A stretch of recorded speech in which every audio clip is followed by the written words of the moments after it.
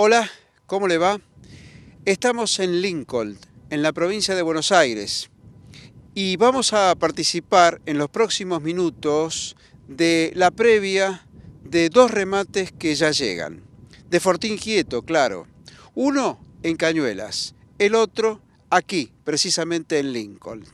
Van a ofrecer reproductores Angus y Hereford, machos y hembras, pero además del negocio, queremos conocer una trayectoria que va camino a la década, un trabajo en equipo y que está vinculado directamente con la producción.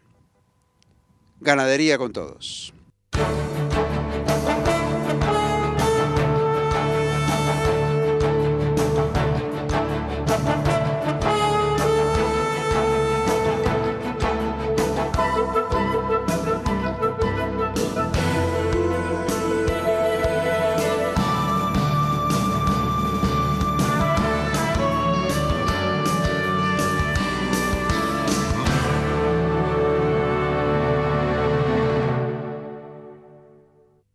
Me dijo en una oportunidad un cliente, así como te llamará alguno para hacerte algún reclamo, también debo decirte que te tengo que llamar para poderles transmitir que me ha ido muy bien con sus productos. Así que eso es lo, bueno de todo esto. Nosotros tenemos algo claro, producir algo eh, se produce, pero producir algo bueno eh, cuesta más. La diferencia por algún lado pasa. Eh, generalmente lo que hacemos es invertir en tecnología, en experiencia, y en desarrollo para obtener estos beneficios. Últimamente hemos incorporado la medición de terneza de la carne para ver cuáles son nuestros animales con genes positivos a la terneza y es una de las partes nuevas que hemos agregado a este eslabón para poder vendérselo a nuestros clientes. Eh, nuestra idea es que nuestros reproductores eh, lleguen con toda esa base de datos, o sea, ya no estás comprando un animal, estás comprando un paquete tecnológico que vas a tener mucha predecibilidad en el momento de que vos lo vayas a usar, cuando lo tires a las vacas al campo y el día de mañana cuando tenga los primeros frutos de esos reproductores.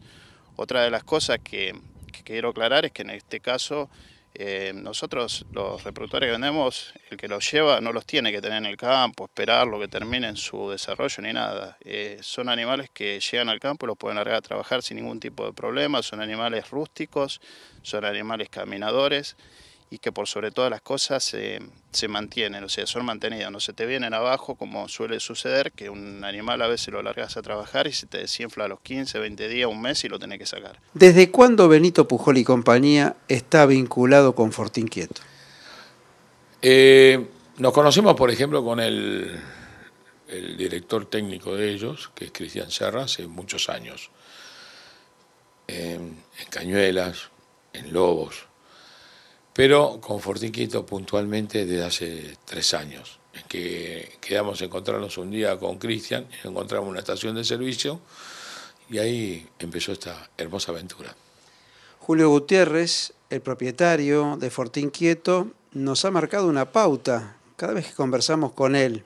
Es un emprendedor y confío en martilleros con experiencia. Ustedes venían de un trabajo eh, que hacía muchos años no tenía relación con la cabaña.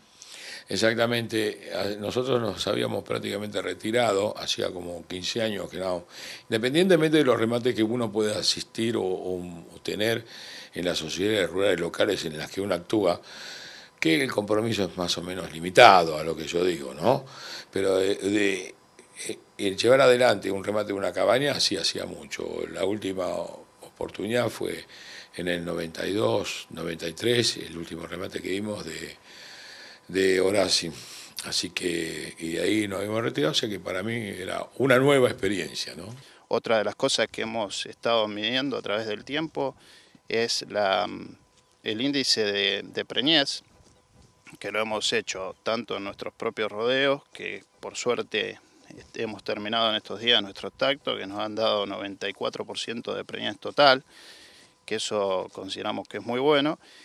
Y después a través de nuestros clientes haciéndole un seguimiento postventa, eh, generalmente en meses de marzo, abril, cuando se realizan los tactos y averiguando cuáles han sido los resultados. Bueno, a través de ellos hemos tenido la, suerte de enterarnos que realmente han tenido muy buena eficiencia reproductiva y eso es algo importantísimo en el negocio. Juan Canepa, ¿desde cuándo le compras a Fortín Quieto? El año pasado eh, empezamos a comprar los terneros eh, en Cañuelas y después en, en, Lincoln. ¿Qué cantidad compraste?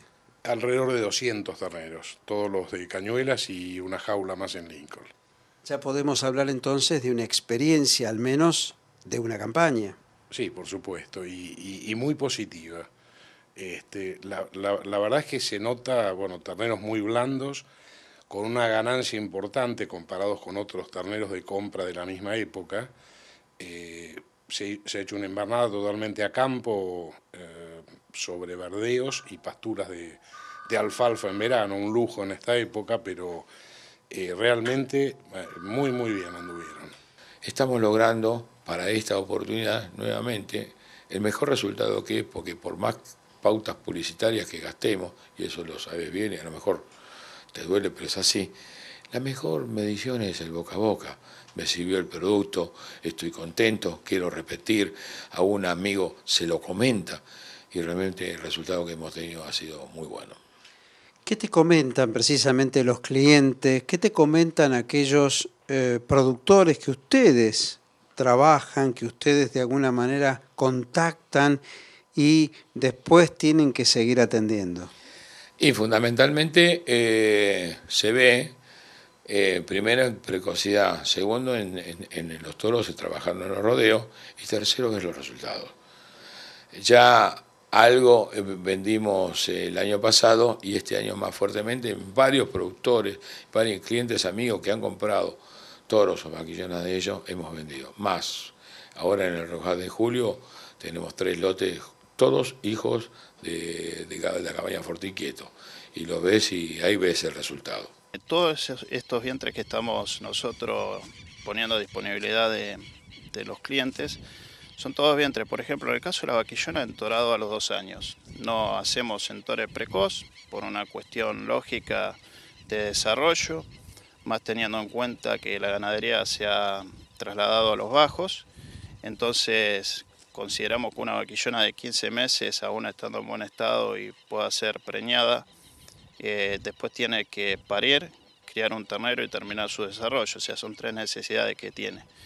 Entonces, como generalmente van a estar en campos bajos, que no van a tener la disponibilidad de forraje que ellas van a necesitar, consideramos una vaquillona de dos años está desarrollada, que terminó su ciclo de desarrollo, entonces es el momento oportuno para preñarla cuando van a parir están alrededor de los 33 meses de edad, es una vaca totalmente desarrollada y el beneficio viene en el segundo servicio. La vaquillona de 15 meses, por una cuestión lógica de pérdida de estado, el porcentaje de preñada en el segundo servicio es muy bajo, entonces todo lo que vos ganaste en tiempo lo perdés en el segundo servicio. Entonces con esta vaca te garantizás en el segundo servicio tener una preñez de un 93, 94, 92% asegurado, siempre y cuando hayan estado en condiciones normales.